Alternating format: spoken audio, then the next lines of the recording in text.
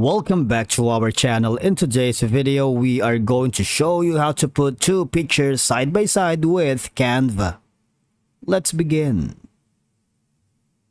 Now, the first thing you need to do is to log in using your credentials.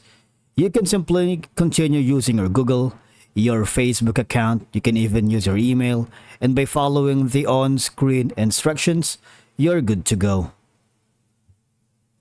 Now, once you are here, Canva basically offers a user-friendly interface with drag and drop functionality, making it simple to arrange and edit pictures like putting two pictures side by side without extensive technical skills or software expertise.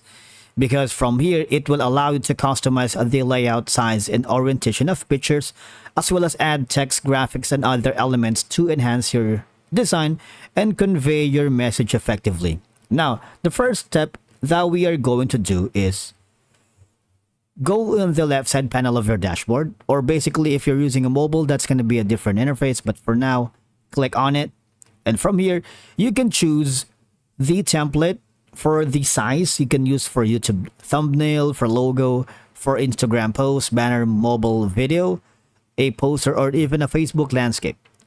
But I'm gonna use something like um, a custom uh, option, I'm going to be using, for now, something like this one. You can use this on numbers as well if you wanted, and click on the Create New Design.